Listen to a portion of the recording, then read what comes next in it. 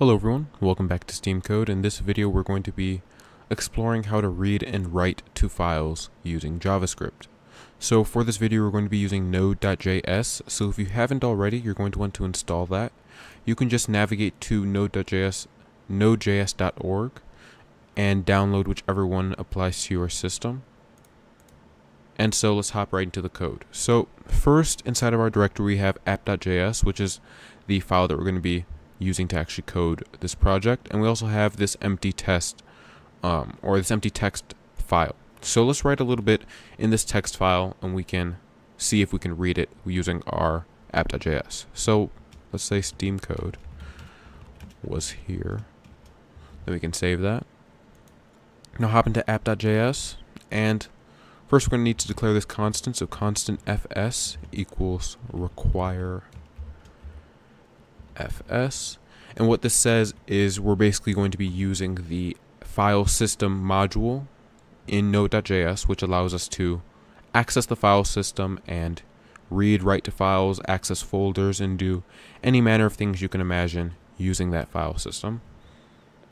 Now we can say fs dot read file. we're going to need the first parameter test.txt this is just the file that we're going to be reading. The second parameter is going to be UTF-8. This is the encoding. And the third parameter will be these two variables, error and data. And these are attributes that are passed in this function. So now we can say, first we're going to need to test if this error, if an error exists, because if an error exists, we don't want to do anything afterwards. So we can say if error. So if that error variable even exists, then console.error, which will log an error message to the console. And we can log that error that was just passed. And then return so that nothing else that's below this line exists. And then we can say console.log the data, and the data just represents anything that's within test.txt. So now let's run this piece of code. We can say node app.js, and as you can see, it was logged to the console Steam code was here, because that's what's written inside of this text file. And if we change that, Steam code was here today, run the same piece of code, as you can see, now what's logged to the console has been changed. So now let's actually start writing to the console. So let's create another constant. This will just be, this will just represent the content. So constant content equals, which say something interesting. And you can use fs dot write file test.txt.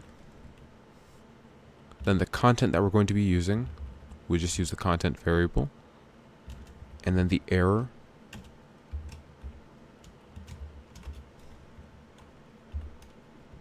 Now we can say if the error exists, just as last time, if error, then console.error. And then we can return afterwards. So let's get rid of this that we have up here.